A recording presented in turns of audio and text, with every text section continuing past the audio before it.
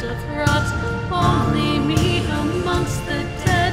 The landscape stretches far beyond me. Silence proves me all alone, but something in this quiet stillness calls me, leads me, begs me home. Stop to think.